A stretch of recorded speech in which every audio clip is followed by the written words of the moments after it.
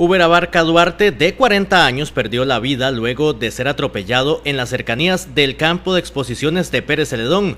Lo preocupante es que el incidente se dio muy cerca del puente peatonal.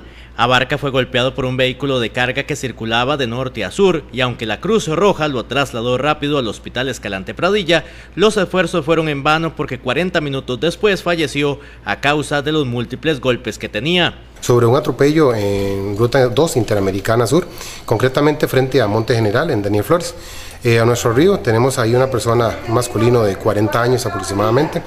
El mismo fue impactado por un automóvil eh, a la valoración presenta múltiples traumas, eh, fracturas múltiples eh, bastante delicadas, se traslada en una condición categoría roja, atención inmediata. Rodrigo Rodríguez, quien fue quien conducía el camión proveniente de San José y se dirigía a su casa, y comentó que no tuvo chance de esquivar al hombre que apareció de un momento a otro en la carretera. Sí, vengo, vengo vamos, de San José, veamos otro carro acá en, la vía del centro y yo veo como que trata de frenar, pero en ese momento nada más se ve una sombra que me pega me pegan en el espejo y en la parte de fondo del espejo.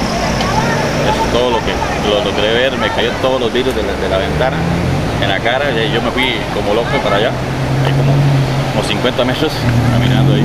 Las autoridades del tránsito realizaron una prueba de aliento al conductor del camión. La misma salió negativa. un atropello eh, el mismo es trasladado al Hospital Escalante Pradilla para su debida atención médica y en el lugar encontramos también lo que es el conductor de un vehículo pesado. Eh, se le realiza la prueba de, de aliento, la cual da un resultado negativo. Uber Abarca se unió a la lista de fallecidos en este tramo de la carretera interamericana sur y es el único que se registra en este periodo de vacaciones.